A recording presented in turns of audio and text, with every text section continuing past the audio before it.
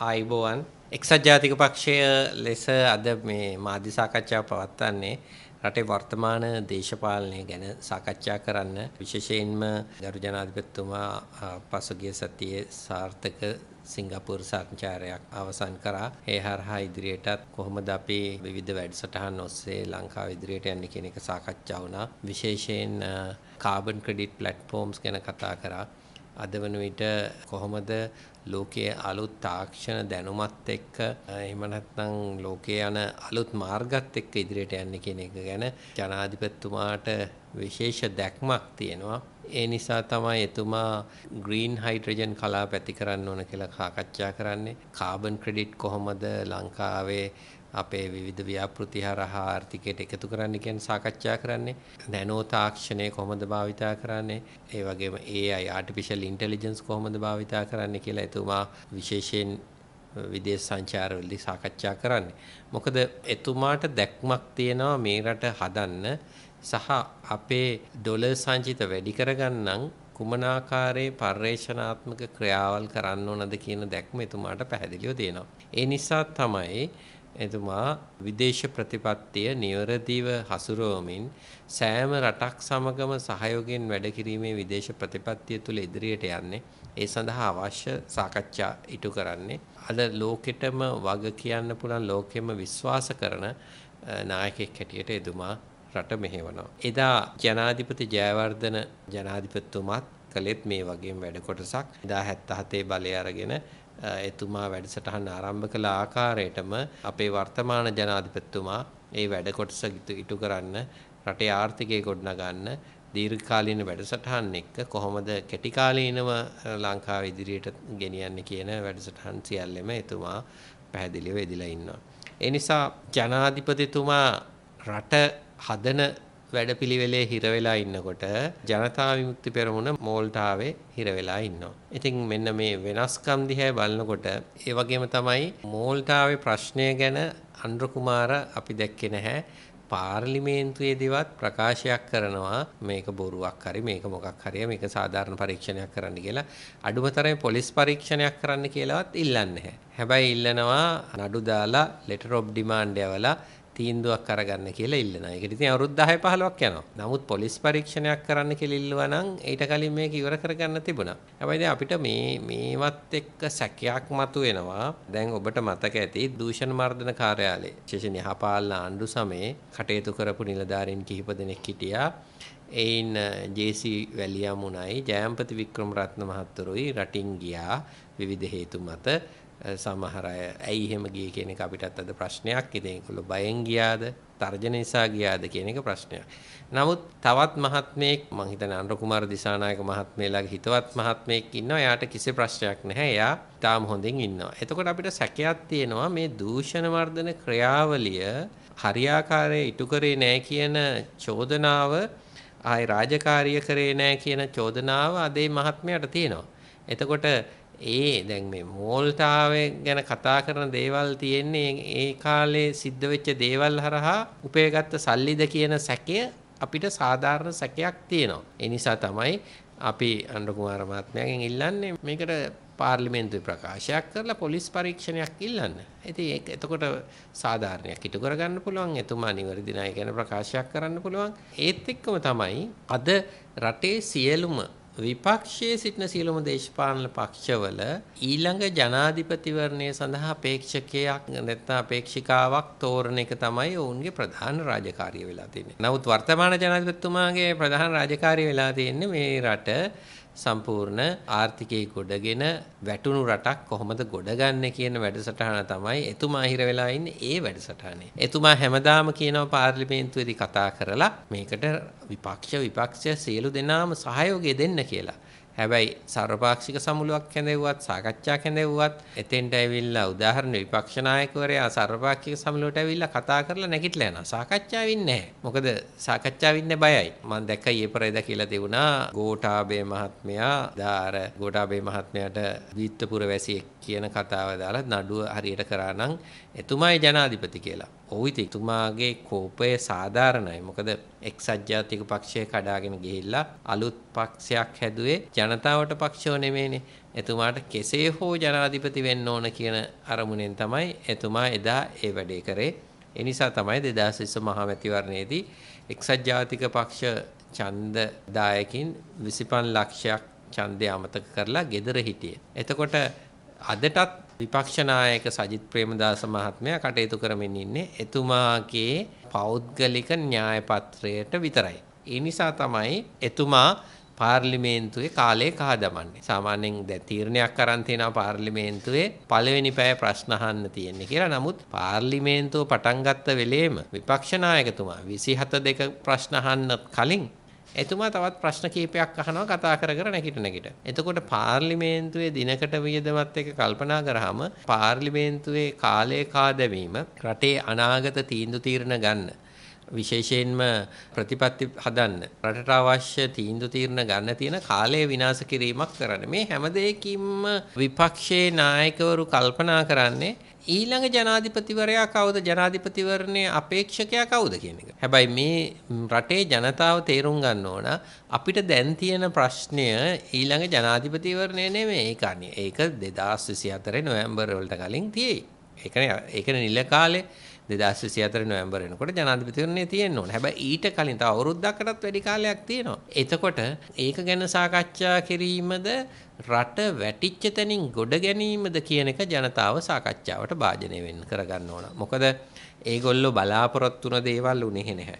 විපක්ෂයේ සේරම දෙනා බලාගෙන හිටියා ඩොලරේ රුපියල් 500ක විතර යයි කියලා. පෙට්‍රල් රුපියල් 1000ක් විතර වෙයි කියලා. එතකොට පෙට්‍රල් පෝලිම් තව තවත් තියෙයි කියලා. මොකද ඊළඟට 6000ට ගිය ගෑස් නැති වෙයි කියලා. අද ජනාධිපතිතුමාගේ වැඩසටහන් එක්ක 2025 දක්වා ගෑස් මිලදී ගැනීම වල සැලසුම් හදලා තියෙනවා. ඒ නිසා 6000කට තිබුණ ගෑස් අද ජනතාවට දරන්න පුළුවන් මිලකට අඩු වෙලා තියෙනවා. ඒ වගේම තමයි ආයේ මේ රටේ තෙල් හිගයක් ඇති වෙන්නේ නැහැ. මොකද ඒ සඳහා නිවැරදි කළමනාකාරීත්වයකින් කොහොමද ජාත්‍යන්තර තෙල් සමාගම් එක ගනුදෙනු කරන්න කියන ප්‍රතිපත්තිමය තීරණයත් එක්ක එතෙන්ට ඇවිල්ලා තිනවා. ඒ නිසා විපක්ෂයේ බලාපොරොත්තු වන පෝලිම් නැවත ඇති වෙන්නේ නැහැ. ඒ වගේම තමයි විපක්ෂය IMF එක්ක යන්නේ නැත්තම් මොකද්ද මේ රට හදන වැඩසටහන කියන එක කිසිම තැනක ප්‍රකාශ කරන්නේ නැහැ. දැන් අනුර කුමාර දිසානායක මහත්මයා කියලා තියෙනවා එතුමා තමයි ජනාධිපති අපේක්ෂකයා කියලා. එතුමා හැබැයි ආණ්ඩුවට බැන බැන රටවටේ යනව ඇරෙන්න කොහොමද මේ රට හදන්නේ කියන වැඩසටහනක් ඉදිරිපත් කරන්නේ නැහැ. බංකොලොත් භාවයෙන් වැටිච්ච රට නැවත අපි හිතමු 2020 ජනාධිපතිවරණයෙන් පස්සේ කොහොමද ගොඩගන්නේ කියන එක මතයක් තාම හදන්නේ නැහැ. දැන් අපි දැක්කනේ මේ රටේ විවිධ ප්‍රශ්නවලදී අවස්ථාවලදී හැමදෙනාම එකතු වෙලා රට ගඩ ගොඩ ගන්න කියන ඉල්ලුම් කළාට විපක්ෂය හැමදාම කරේ මොකද්ද විපක්ෂයේ දේශපාලන න්‍යායපත්‍ර විතරක් ක්‍රියාත්මක කරලා තමන්ගේ ප්‍රතිරූප හදපු එක. ඒ නිසා තමයි අපි නැවත නැවතත් එල්ලා සිටින්නේ මේ රට ගොඩනගන්න නම් ආණ්ඩුව ගෙනියන ක්‍රියාමාර්ග වගේම පාර්ලිමේන්තුවම ආණ්ඩුවක් විය යුතුයි. ඒ හරහා තමයි මේ රට ඉදිරියට යන්න පුළුවන්. මොකද අද රටේ පැවති රැකියාව වලින් 16 10කට විතර රැකියා අහිමි වෙලා තියෙනවා. එහෙනම් මේ රැකියා නැවත මේ රැකියා ප්‍රමාණය ඇති කරගන්න ඕන. අද වන විට ඉතිරි මාස දැන් රට සංචාරක කර්මාන්තයේ හැටියට සෑහෙන දුරකට ඉදිරියට ගිහිල්ලා තියෙනවා.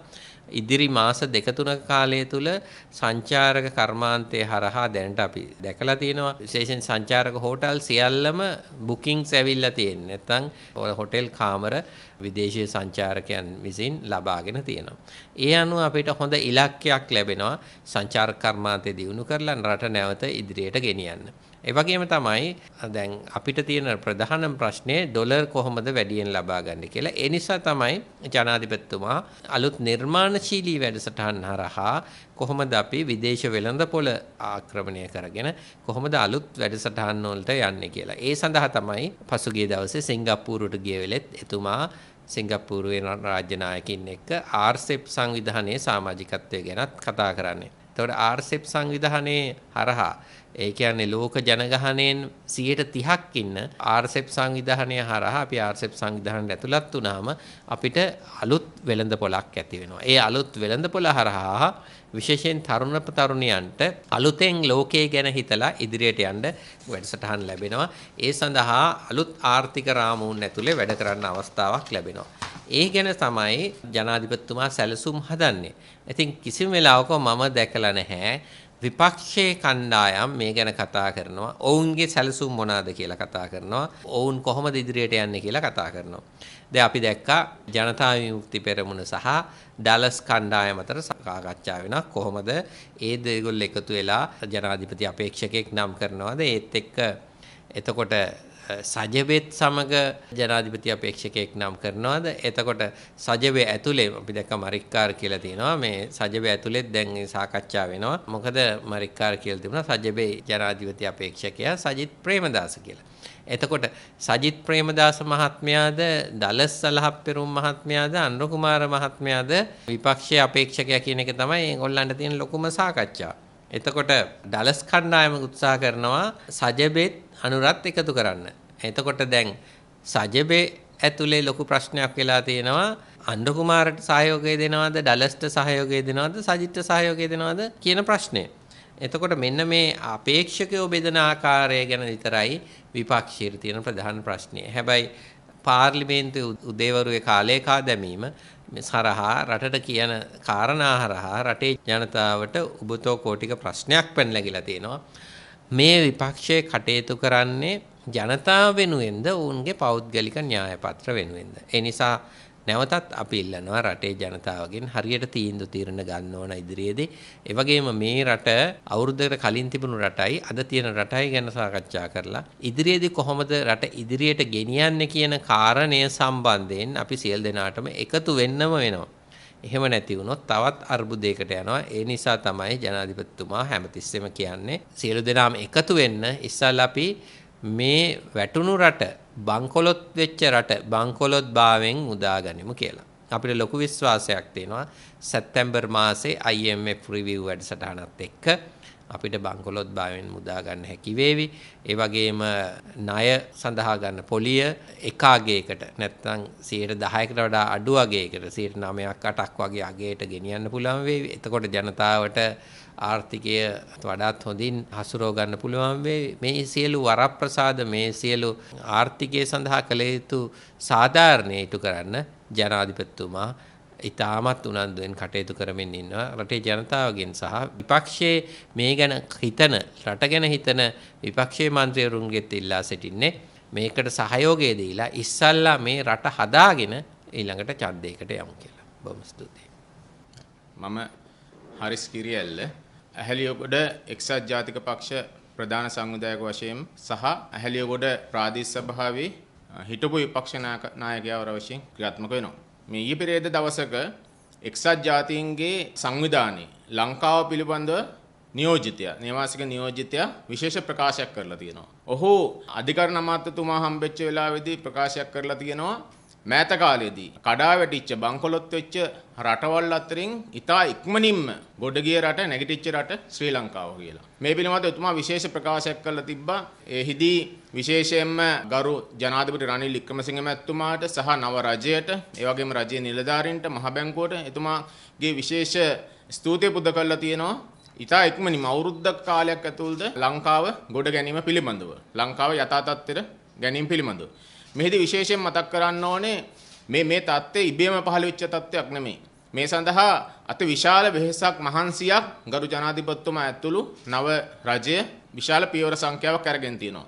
විශාල පනත් සංඛ්‍යාවක් අලුතෙන් ඔවුන් ඉදිරිපත් කරලා ලංකාව නිවැරදි දිශානතියට අරගෙන යන්න වැඩපිළිවෙලක් සකස් කරලා තියෙනවා. එහිදී විශේෂයෙන් මතක් කරන්න ඕනේ දකුණු ආසියාවේ ප්‍රබලතම දූෂණ විරෝධී පනත ලංකාවට ඉදිරිපත් කරා.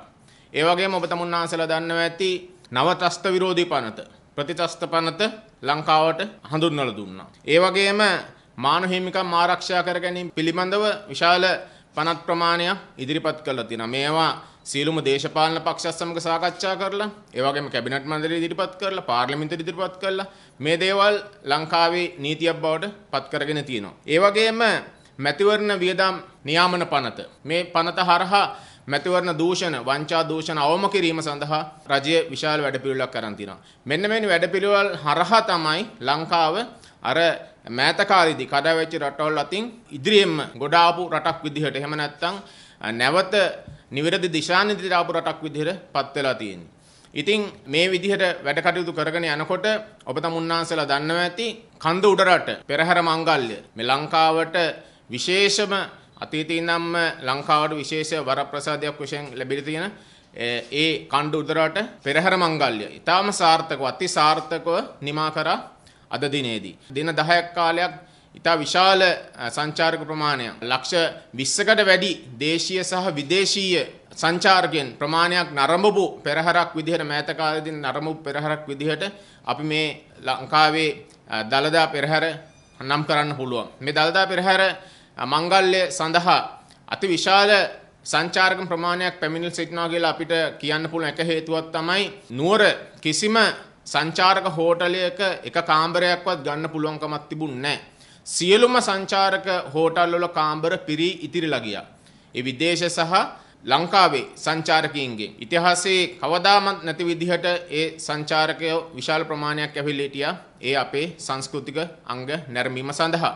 ඉතින් සංචාරක කර්මාන්තයේ යෙදී සිටින මේ සංචාරක හෝටල් වලට අමතරව නුවර ප්‍රදේශයේ ජීවත් වෙන සාමාන්‍ය ජනතාව තමුන්ගේ නිවෙස් පවා මේ සංචාරකයන්ට ලබා දෙමින් යම්කිසි ආදායමක් ලබා ගත්තා. ඒ සංචාරකයන්ට අවශ්‍ය ආහාර පාන ලබලා දීලා ඒ අවශ්‍ය මුදලක් ලබා ගත්තා.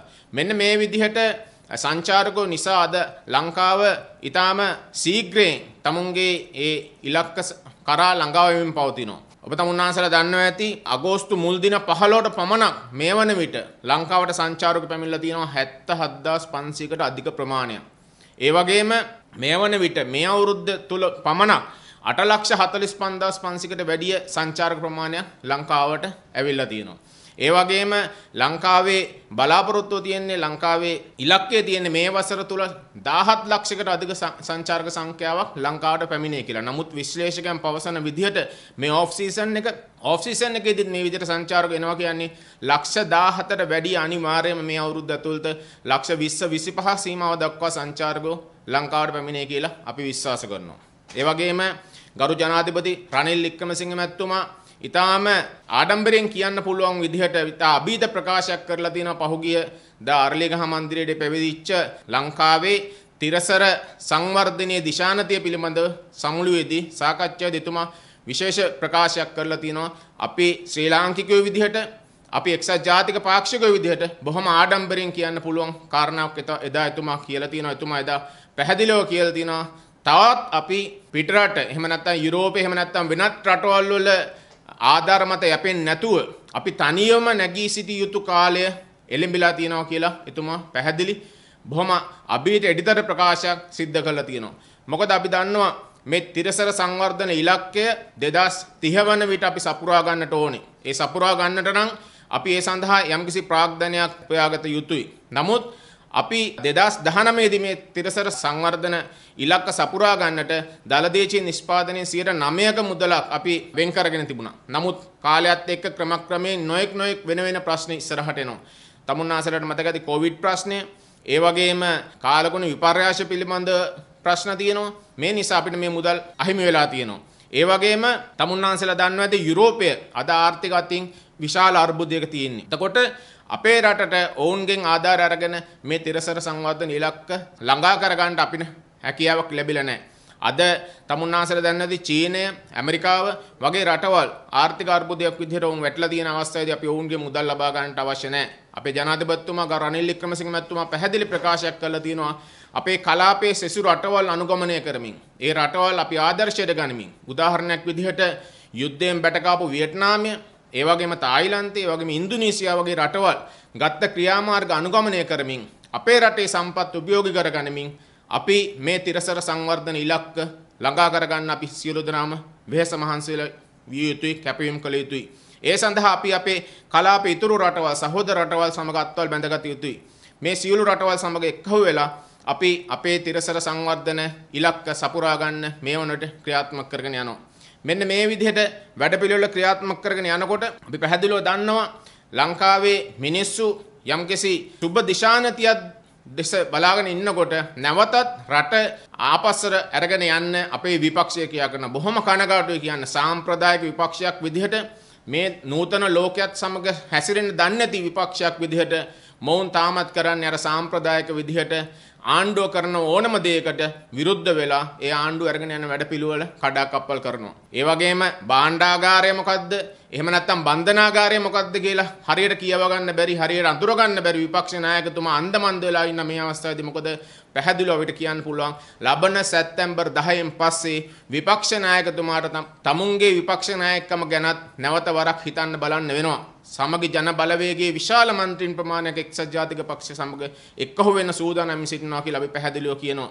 ඒ වගේම පෙරටුගාමී පක්ෂය, ඒ වගේම ජනතා විමුක්ති පෙරමුණ අර මම කලින් කිව්වා වගේ සාම්ප්‍රදායික දේශපාලනයේ තවම තවදුරටත් නියැලෙමින් මේ රජය අරගෙන යන වැඩපිළිවෙල් සියල්ලක්ම කාබාසිනිය කරන්න එහෙම නැත්නම් විනාශ කරන්න උත්සාහ දරනවා.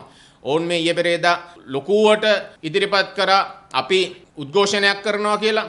එහෙම නැත්නම් ඔවුන් ඉදිරිපත් කරේ අර්ථසාධක අරමුදල විනාශයට පත්වෙන අර්ථසාධක අරමුදල. නැති කරන්න යන්නේ මේ ආණ්ඩුව අර්ථසාධක අරමුදල උගසර තියලා තියෙනවා කියලා විශාල පිරිසක් ගෙනහල්ලා උද්ඝෝෂණයක් කරන්න උත්සාහ කරා. නමුත් දවල් කෑම පැයේදී 500කටත් අඩු පිරිසක් සමග එක්කහුව වෙලා බොරු සද්දයක් දාන්න විතරයි මොවුන්ට හැකියාව ලැබුණේ. මොකද ජනතාව පවා දැන් පැහැදිලිව පිළි අරන් තියෙනවා තේරුම් අරන් තියෙනවා මේ ලංකාව යන වැඩපිළිවෙල. ජනාධිපතිතුමා යන වැඩපිළිවෙල රනිල් වික්‍රමසිංහ මැතිතුමා ඇතුළු නව රජය අරගෙන යන වැඩපිළිවෙල හරහා ලංකාව සුබ දිශානතිකට යනවා කියලා ඔවුන් පිළි අරගෙන තියෙන. ඒ නිසා තමයි විපක්ෂයට මේ උද්ඝෝෂණ කිරීමටවත් මිනිස්සු හොයාගන්න බැරි තත්ත්වයක් උදා වෙලා තියෙන්නේ. දැන් ජනාධිපතිවරණ අපේක්ෂකයෝ ගොඩයි මේ විදිහට යන හැටියට දැන් ආසන්නයෙන්ම ප්‍රකාශයටපත් කරේ අනුර කුමාර දිසානායක මහත්තයාගේ නම. ඒ කියන්නේ ඔබතුමාලා බය වෙලාද? නෑ අපි කිසිම බයක් නැහැ. මම හැමදාම කියන විදිහට මේ රට ගොඩනගන්න ඉන්න එකම නායකයා රනිල් වික්‍රමසිංහ මහත්මයා. එතුමාට විතරයි මේ රට ගොඩනගන්න පුළුවන් කියන එක දැන් රටම දන්නවා. රටේ මතයක් හැදීගෙන යනවා. අපි දන්නවනේ ඉතින් අනුර කුමාර මහත්මේලා සෝෂල් මීඩියා හරහා ෆේක් ප්‍රොෆයිල් 70000ක 80000ක බලයනියක් හදලානේ මේක මතයක් හදන්නේ. ඉතින් ඒක එහෙම හැදුවා. එහෙම හදාගෙන මතයක් හදලා උත්සාහ කරා ඒක පුම්බන්න. පිම්බුව පිම්බුව උඩ ගිහිල්ලා වැටුණානේ දැන්. දැන් ජනතාව දන්නවා කවුද මේ රට හරියටම හදන්න පුළුවන් කියලා. කාට දෙක කරන්න පුළුවන් කියලා. ඒ මතය තියෙනවා. නැත්තම් හොඳම උදාහරණය ඔබ සෝෂල් මීඩියා වලට යන්නකෝ. සෝෂල් මීඩියා වලට ගියාම කමෙන්ට්ස් තියෙන දිහා දාන්නේ මාලිමාවට ජය වේවා මාලිමාවට ජය වේවා මාලිමාවට ජය වේවා. එතකොට ඔක්කොම කමෙන්ට්ස් දාන්නේ මාලිමාවට ජය වේවා. ඇයි අනේ හත් දෙයියනේ. ඊට වඩා ටිකක් හිතලා මොනා හරි දාන්න කමෙන්ට්ස් හිතෙන්නේ නැද්ද? ඕක ඕක තේරෙනවා. ඕක artificial fake profile. Fake profile ටික ඒගොල්ලෝ ප්‍රෝග්‍රෑම් එකක් හදලා ඒගොල්ලෝ කට්ටිය දාලා එතකොට වෙලා යනවනේ එක්කෙනෙකුට පුළුවන් ප්‍රොජෙක්ට් ප්‍රොෆයිල් 100ක් විතර මේන්ටේන් කරන්න. එතකොට ලේසිනේ අර කට් ඇන්ඩ් පේස් කරලා මාලිමාවට ජය වේවා මාලිමාවට ජය වේවා කියලා දාගෙන දාගෙන දාගෙන දාගෙන යන්න පුළුවන්. ජනතාව දැන් දන්නවා. ඉතින් හිතනවා මෙච්චර කොහොමද මේ මාලිමාට ජය වේවා ජය වේවා ජය වේවා දානක. ඊට වඩා තව ටිකක් හිතන්නකෝ. අපේ අනුර කුමාර මහත්මයාගේ ප්‍රතිපත්ති මේකයි. රට හදන්නේ යා මෙහෙමයි. එයා ආර්ථිකය කරන්නේ මෙහෙමයි. කවුරුත් එහෙම කතා කරන්නේ නැහනේ. ඉතින් ඒක තමයි මේ රටේ ජනතාවට බොරුව වැපිරීම. ඒ නිසා තමයි එදත් අදත් හැමදාම බොරු නොකියපු නායකයෙකුට ඉන්නේ රනිල් වික්‍රමසිංහ මැතිතුමා විතරයි. එතුමා විතරයි මේ රට ගොඩනගන්න ඉන්න අවසන් රාජ්‍ය නායකයෙක්. එතුමාගෙන් ගිලි වුණොත් මේ රට ඉවරයි. දැන් මේ විදි අනික් පාර්ශවයේ ජනාධිපති සටනට දැන් මෛත්‍රීපාල මහත්තයා කියනවා මටත් පුළුවන් කියලා. ඩලස් මහත්තයා තඳුම් මහනවා. සජිත් මහත්තයා කොහොමද ලෑස්ති?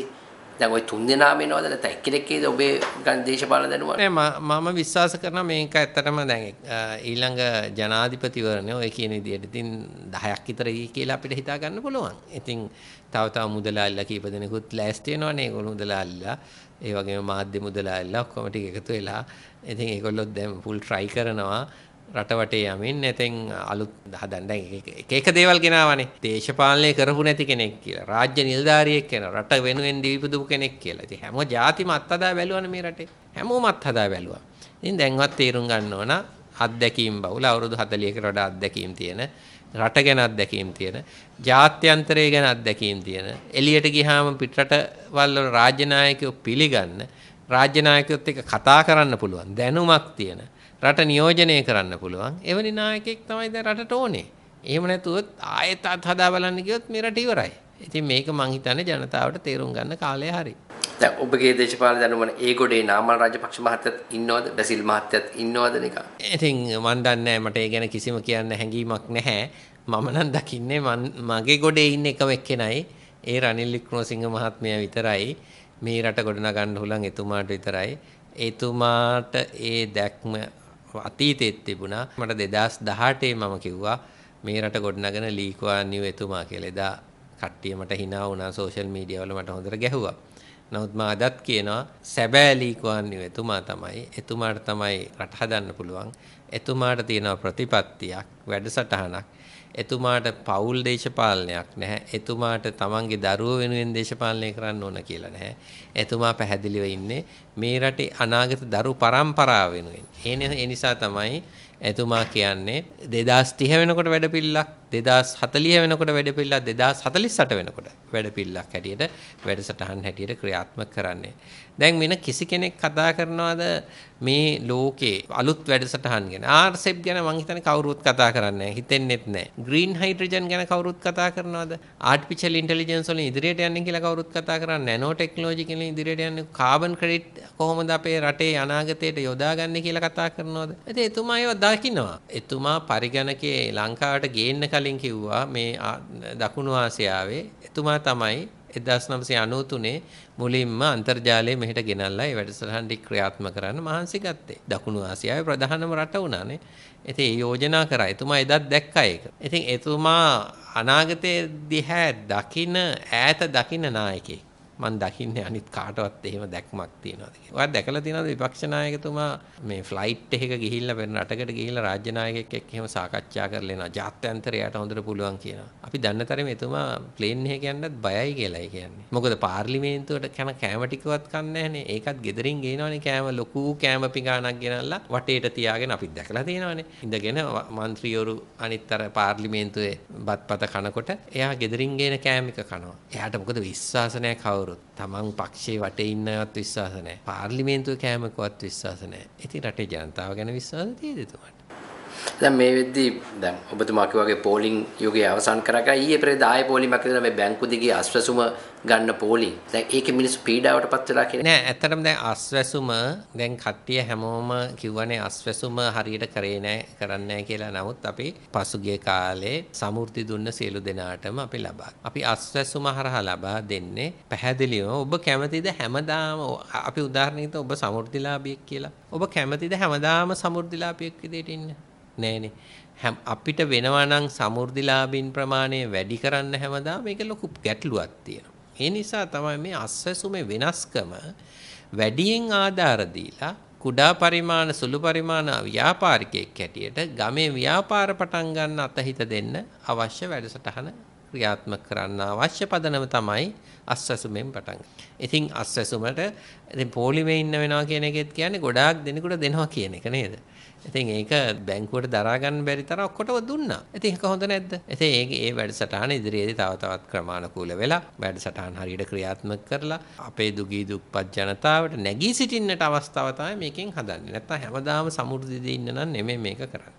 දැන් මේ වෙද්දී ඊළඟ රටේ ප්‍රශ්නයක් ඇතුළේ මේ ඖෂධ ප්‍රශ්නය ඉතාමත් දැන් දීර්ඝ කාලීනව ඇදීගෙන එනවා.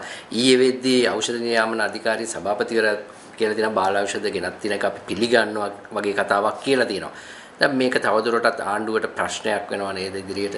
ඇත්තටම දැන් මේ ප්‍රශ්නේ බොහෝ දුරට විසඳලා තියෙනවා. රාජ්‍ය ඖෂධ නීතික ඖෂධ සංස්ථාවේ තාද අලුතෙන් සභාපතිවරු පත් කරගෙන අලුතෙන් නිලධාරීන් පත් කරගෙන ඉදිරියේදී ඒ ක්‍රියාත්මක කරන වැඩසටහන් හරහා දුර්වලතා තිබුණා. අපි දැක්කත් පසුගිය කාලේ ඔබ දකින්න ඇති අද කවුරුත් මේක ගැන ප්‍රශ්න කරන්නේ අර ඖෂධ නියාමනයේ සඳහා තිබුණ දත්ත ගබඩාව විනාශ වීම ගැන. එතකොට ඒ කාලේ හිටිය රාජ්‍ය ඇමතිතුමා අපි දැක්ක ඊයේ පෙරේදා ගෙයින් එළියට ඇදලා දානවා මේ තාමත් ඒ එතුමාගේ රාජ්‍ය ඇමති හැටියට හිටපු ගෙදර ඉන්නවා නේද? සාධාරණය ගැන කතා කරනවා. රටේ ජනතාව ගැන කතා කරනවා. හැබැයි Taman අර ඇමතිවරයෙක් හැටියට දුන්න ගෙයින් එළියට යන්නේ එතකොට එයාගේ කාලේ තමයි ඔය ඖෂධ පද්ධතියම විනාශ වුනේ. ඉතින් මේවා ගැන සොයා බලන්න ඕන. ඒ සොයා බලලා ඒ වැරදි හදාගෙන ඒ අවුල් ජාලය හරියට කරගෙන ඉදිරියට යනවා. ඉතින් බලන ප්‍රශ්න දාලා වටන්න වැටෙන්නේ නැහැ. මේ ආණ්ඩුව හරියට යනවා, කෙලින් කරගෙන යනවා.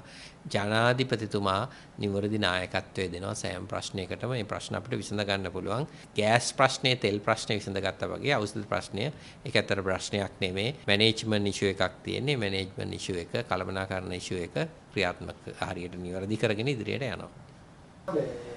සියයට වෙනිදා පැවති EPF සම්බන්ධ උද්ඝෝෂණයේදී මහා බැංකුව අධිපතිතුමා ඒ උද්ඝෝෂකයන්ට ආරාධනා කරා මහා බැංකුවට කීප දෙනෙකුට. නමුත් ඔවුන් ඊට ගියේ යන්න බෑ කියලා දෙනවා. එතෙන්දි මොකක්ද ඔබතුමාට පැහැදිලිව කියලා දෙන්නේ? ඔය ඒ කියන්නේ ඔවුන් බලාපොරොත්තු වෙන්නේ උද්ඝෝෂකයෙක් බලාපොරොත්තු වෙන්නේ මහ බැංකු අධිපතිතුමා ඔවුන්ට ඒ සඳහා සාකච්ඡාව සඳහා අවස්ථාවක් ලැබලා දෙයි කියලා. මොකද ඔවුන්ට ඒ සාකච්ඡාවකට ඉදිරිපත් වුණා නම් එතෙන්දි පැහැදිලිවම පේනවා ඒ උද්ඝෝෂණය කරන්නේ බොරුවට. කිසිම තේරුමක් නැතුව දෙයකට කියලිවරලා ඔවුන් ඒත්තු ගන්නනවා මුළු මාධ්‍යයක් ඉස්සරහා. ඒ නිසා තමයි ඔවුන් මේ මග ඇරියේ. මග ඇරලිවරලා මහ බැංකු අධිපතිතුමාගේ ආරාධනය මග ඇරලා ඔවුන් එයින් පලා ගියා.